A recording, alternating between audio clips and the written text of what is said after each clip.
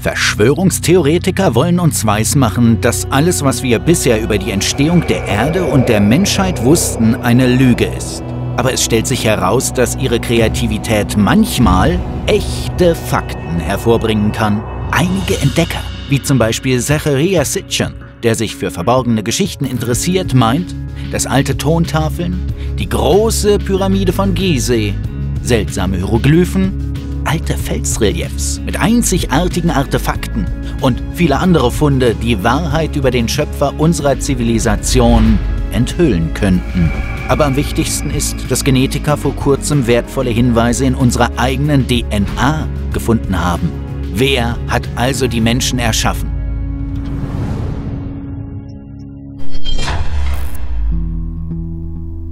1849 führte der Archäologe Henry Layard mit seinem Team Ausgrabungen im Iran an den Ruinen von Sipar durch, einer nicht mehr existierenden Stadt.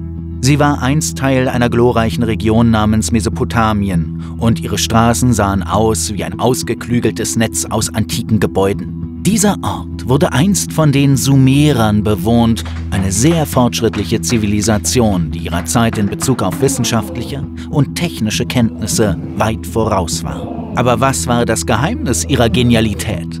Archäologen taten ihr Bestes, um die Antwort zu finden. Deshalb war das Team überglücklich, als es nicht nur zwei oder zehn, sondern etwa 20.000 Tontafeln, geschrieben von alten sumerischen Schriftstellern, fanden. Dieser Schatz ist 5800 Jahre alt.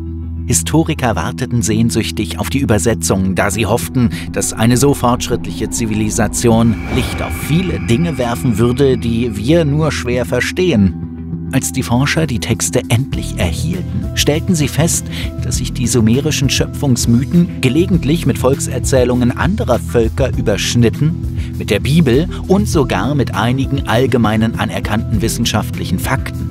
Trotzdem war die sumerische Version der Ereignisse ziemlich gut und gleichzeitig absolut verrückt. Wie ist das möglich? Nun, bleib einfach dran, um zu verstehen, was ich meine. Der Ausgangspunkt für den intellektuellen Sprung der alten Sumerer war der Tag, an dem sie Wissen von denen, die vom Himmel kamen, erhielten. Die sumerische Sprache hatte einen besonderen Begriff für diese Gottheiten, die Anunnaki. Einigen Beschreibungen zufolge hatten sie Flügel, anderen zufolge waren sie halb Mensch, halb Vogel. Die Sumerer wollten ihre Fähigkeit zu fliegen hervorheben. In ihren Texten sagten die alten Menschen, dass diese Kreaturen meist wie Menschen aussahen, aber breitere Schultern hatten. Ihre Köpfe waren länglich und eiförmig. Die Anunnaki konnten riesig groß sein, bis zu fünf Metern. Außerdem konnten sie mehr als tausend Jahre alt werden. Deshalb wurden sie als göttlich angesehen. Die Sumerer behaupteten, dass der Hauptgrund für den Abstieg der Anunnaki auf die Erde die Suche nach Gold war. Das wirft die Frage auf, wozu brauchten allmächtige Götter ein paar Brocken Metall? Aber das ist noch nicht das Seltsamste an den sumerischen Schriften. Die Mitglieder der geheimnisvollen Zivilisation behaupteten, dass diese Kreaturen vom Himmel die Menschheit erschufen und zwar nicht aus Langeweile, sondern weil sie jemanden brauchten, der die schweren Aufgaben der Goldgewinnung für sie erledigt. Den Sumerern zufolge scheint es, dass die Menschen nur aus einem einzigen Grund entstanden sind, um die harte Arbeit anstelle dieser Superwesen zu erledigen. Der überraschendste Teil der frühen Texte ist jedoch eine Legende, die erzählt, wie genau die Menschen von den Göttern erschaffen wurden. Vor 250.000 Jahren überlegten die Anunnaki, wie sie einen primitiven Arbeiter erschaffen könnten. Sie erinnerten sich daran, dass es bereits eine perfekte Lebensform gab, die für diese Rolle geeignet war. Es war ein Affe, dessen Körperbau dem ihren sehr ähnelte. Und doch waren die Tiere in ihrer evolutionären Entwicklung weit hinter ihnen zurück. Dann wurden die Affengene verändert. Das erinnert mich stark an biblische Motive, denn die Anunnaki wollten auch einen Menschen nach ihrem Ebenbild schaffen. Ich denke, du wirst mir zustimmen, dass dies das erste Mal in unserer Geschichte ist, dass die Evolutionstheorie und das Christentum so gut zusammenpassen. Die Menschen besiedelten riesige Gebiete und begannen Gold abzubauen. Alles lief reibungslos, bis die Anunnaki begannen, sich mit sterblichen Frauen zu paaren. Das führte zur Geburt von Hybriden, die weder die reinen Anunnaki noch Menschen waren. Daraufhin beschloss der oberste Gott, die menschliche Rasse auszulöschen, um den Status quo wiederherzustellen. Und so rief er eine große Flut herbei. Die Anunnaki kehrten in den Himmel zurück und sahen in aller Ruhe zu, wie ihre Schöpfungen starben. Als sich der Planet und seine Tierwelt erholt hatten, kehrten sie zurück und schufen neue Menschen, die viel perfekter waren als die vorherige Version. Die Anunnaki bildeten sie in vielen Bereichen aus und machten sie hochintelligent. Kannst du erraten, wer diese besten Vertreter der menschlichen Spezies waren? Natürlich waren es die Sumerer, die rein zufällig die Verfasser der Tontafeln waren, die von Archäologen ausgegraben wurden. Und das ist noch nicht alles. Nach kurzer Zeit begannen die Sumerer mit den Anunnaki zu kämpfen, weil sie sich nicht länger als Sklaven halten lassen wollten. Noch einmal kehrten die, die vom Himmel kamen, zurück. Dieses Mal waren sie großzügig zu den Menschen und ließen sie sogar ihr Wissen behalten und sich unabhängig weiterentwickeln. Also, was denkst du? So seltsam das auch klingen mag, auf den sumerischen Tafeln verschmelzen alle Theorien über die Erschaffung des Menschen zu einer einzigen. In diesen Kritzeleien wird alles Mögliche erwähnt. Evolution, Götter, die Menschen erschaffen und sogar eine außerirdische Zivilisation, die auf die Erde kam und hier das Leben erschuf. Das Seltsame ist, dass moderne Archäologen, Historiker und sogar Astronomen eine Menge Beweise gefunden haben, die jedes Wort dieser Legende belegen. Das liegt daran, dass die Anunnaki höchstwahrscheinlich gar keine geheimnisvollen Götter waren. Sie waren etwas anderes. Natürlich sind die meisten heutigen Wissenschaftler skeptisch gegenüber den Tontafeln, die Mitte des 19. Jahrhunderts gefunden wurden. Sie tun die Texte über die Anunnaki als ein weiteres Beispiel für die unglaubliche Fantasie der alten Kulturen ab. Unsere Vorfahren hatten jede Menge Mythen in petto, um alles zu erklären, was sie nicht verstehen konnten.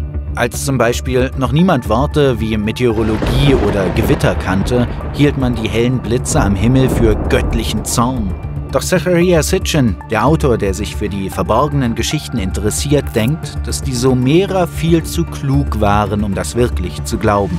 Die Wesen, die vom Himmel herabstiegen, um sie zu besuchen, waren wahrscheinlich etwas Realeres als fiktive Gottheiten. Der aserbaidschanische Gelehrte hat sein Leben buchstäblich den Anunnaki gewidmet. Neben den Tafeln studierte er sorgfältig solche alten sumerischen Texte wie das Gilgamesch-Epos und den Schöpfungsmythos namens der Enuma Elish. Er untersuchte auch viele Hieroglyphen, Felsmalereien und Figuren, die in dem Gebiet gefunden wurden, zu dem einst Mesopotamien und Ägypten gehörten. So konnte Zacharias ein vollständiges Bild davon entwerfen, wie die Anunnaki auf die Erde kamen. Dem Autor zufolge kamen sie direkt aus dem Weltraum zu den Menschen. Es gibt indirekte Beweise, die für die Sitchins Theorie sprechen, wie die hethitischen Felsreliefs. Auf dem einen sind Dinge abgebildet wie eine Rakete, während auf dem anderen eine Kammer zu sehen ist, die Licht ausstrahlt und in der sich ein Gott befindet. Dies sind Hieroglyphen, die in der altägyptischen Stadt Abydos gefunden wurden. Du kannst Objekte erkennen, die einem Hubschrauber, einem Luftschiff und einem Raumschiff verblüffend ähnlich sind. Wie die aus Futurama.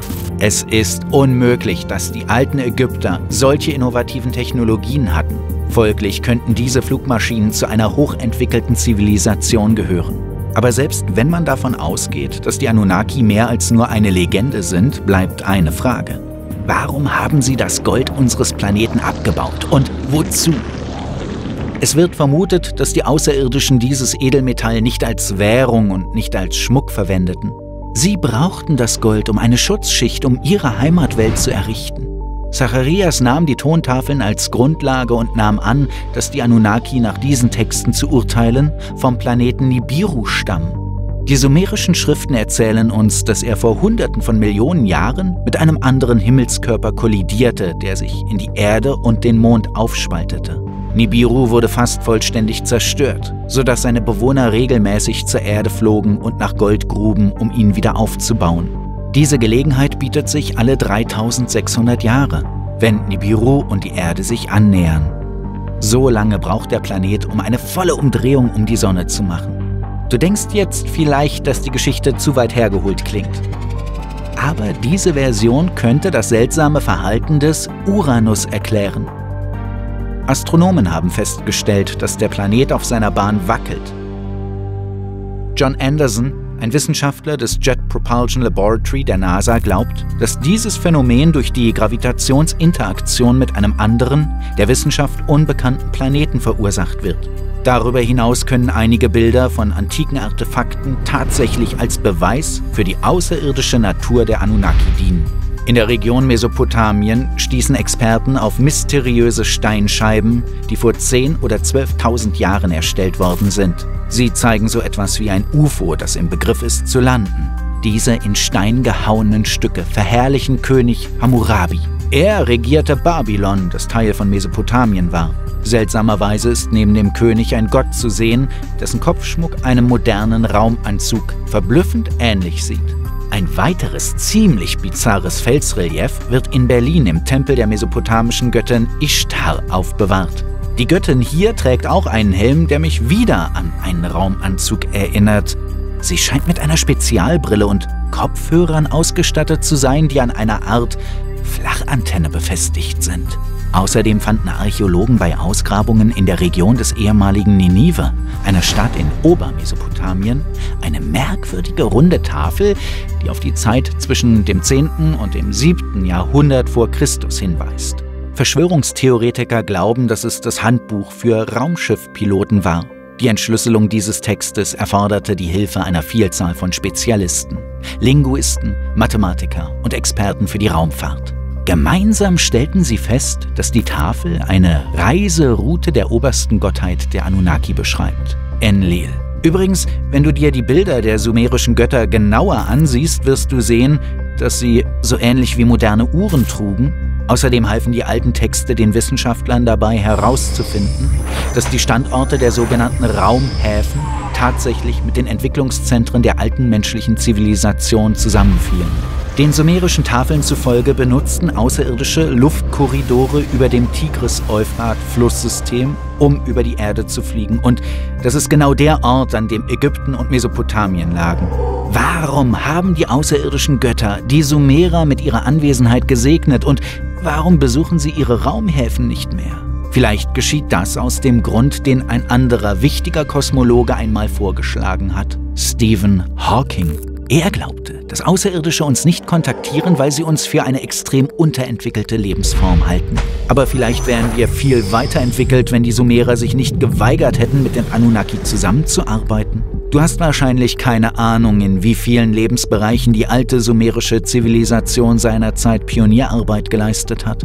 Nehmen wir zum Beispiel die grundlegendste Sache. Wir verdanken ihnen die Erfindung des Rats, als nächstes entwickelten die Sumerer als erste ein komplexes Bewässerungssystem, die künstliche Bewässerung des Bodens. Und ihre Städte wurden im Schachbrettmuster gegründet. Dieses System wurde zum Vorbild für die zukünftige Stadtplanung. Vor langer Zeit begannen die Sumerer mit der Entwicklung von Metallurgie, bei der Kupfer und andere Metalle zur Herstellung verschiedener Werkzeuge und Waffen verwendet wurden. Sie stellten nicht nur Speere, Schwerter und Dolche aus Kupfer und Eisen her, sondern auch Rüstungen wie Helme, Kettenhemden und Schilde. Das antike Volk von Mesopotamien erfand das erste Schriftsystem der Welt, die Keilschrift. Sie benutzten sie, um ihre Gesetze, Rituale, Geschäftsabschlüsse und andere wichtige Dokumente auf Tontafeln zu schreiben. Was die exakten Wissenschaften angeht, waren die Sumerer unübertroffen. Sie erfanden zum Beispiel ein sexagesimales Zahlensystem, das später modifiziert wurde und heute in der modernen Geometrie zur Messung von Zeit und Winkeln verwendet wird. Die Sumerer schufen auch einen der ersten Kalender in der Geschichte, der auf den Mondzyklen basiert. Ein Jahr wurde in zwölf Monate unterteilt und jeder Monat war unterteilt in 30 Tage. Nach den entzifferten Texten zu urteilen, hatten die alten Sumerer sehr genaue Informationen über unser Universum, die Sterne und Planeten. Schon vor 6000 Jahren wussten sie, dass die Erde die Sonne umkreist. Die sumerischen Astronomen teilten den Himmel in zwölf Tierkreiszeichen ein. Sie wussten über alle Planeten unseres Sonnensystems Bescheid, auch wenn Uranus zum Beispiel offiziell erst im Jahr 1781 und Pluto erst 1930 entdeckt wurden. Und vergiss nicht, dass sie zwischen dem 4. und 3. Jahrhundert vor Christus lebten, als sie nicht einmal davon träumen konnten, Teleskope oder andere wissenschaftliche Geräte zu besitzen. Natürlich würden wir gerne glauben, dass unsere Vorfahren genial genug waren, um all diese Dinge ohne die Hilfe von hochentwickelten Lebewesen zu entdecken. Aber es scheint, dass moderne Genetiker Beweise dafür gefunden haben, dass alles, was die Menschen haben, ein Geschenk der Anunnaki ist. 1963 fanden die Wissenschaftler der Universität Stockholm, Margit Nass und Sylvain Nass heraus, dass die DNA im menschlichen Körper nicht nur innerhalb, sondern auch außerhalb des Zellkerns vorhanden ist. Letztere wird als mitochondriale DNA bezeichnet. Verschwörungstheoretiker glauben, dass dies die genetische Erschaffung der menschlichen DNA durch die Anunnaki bestätigt. Die Götter wollten eine leicht zu erziehende Hybridrasse gebären, die sie vollständig kontrollieren konnten. Die mitochondriale DNA wird von der Mutter an ihre Kinder weitergegeben und könnte ein Schlüsselelement sein, um die Gene der Anunnaki als integralen Bestandteil der menschlichen Biologie für die nächsten Generationen zu erhalten.